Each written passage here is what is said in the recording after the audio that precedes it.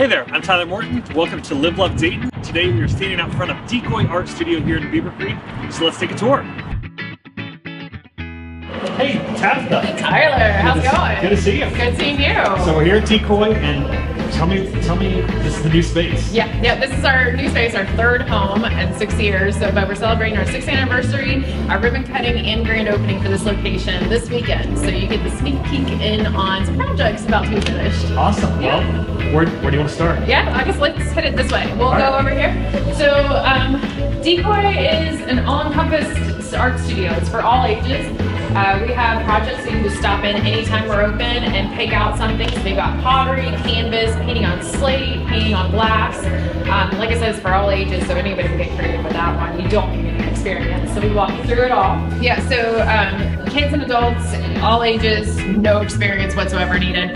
Um, you kind of pick out the piece, and so the price is on the bottom. That includes everything that you need. We take care of the rest. Um, and it's just fun. It's just relaxing fun to do. So I had a I had a daddy daughter date here with my daughter Layla, and she's four, and I don't know where they're at, but she picked out this cup, cupcake. Probably coming in here in the next For- few days. right. Yeah, we'll have so more. she picked one of those out, and it turned out. I mean, she had the most fun. I mean, Keep your little trinkets in it. oh yeah. Yeah. If you guys haven't brought your kids here, it's an incredible experience. So I highly recommend it. So this is one of the rooms that is still being worked on for the mural. Um, Kristen loves Monet, so this is called the Nook. A little bit more of a nature theme going on here, and it's a little more private, intimate classroom, just perfect for kids and private lessons that we can hold up all the time. Then we also have a second classroom that's much larger. That's called the Steam Room, and we hold birthday parties, um, outings, events of all kinds, and so forth in there too. I always wanted to be an art teacher. Sure. My art teacher at Main Elementary was the one that inspired me to do it, and I have always worked in some sort of art field and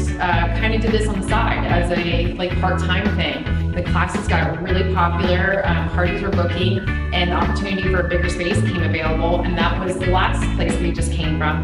And from there, we just kind of blew up over four years. So um, we needed something bigger that laid out better. We were unfortunately like a maze in that place. So here we have a nice flow.